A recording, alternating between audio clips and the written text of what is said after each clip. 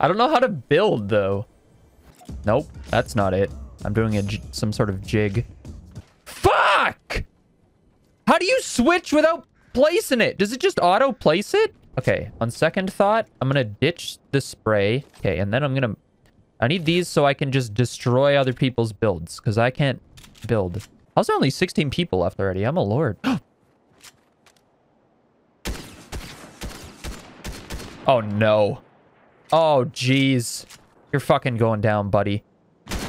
Buster. That's what I brought these for, motherfucker! No! Please! I can't aim! My sensitivity is... What is this? That's not a bot. That's not a bot, dude. I got him! Holy shit! I'm a god!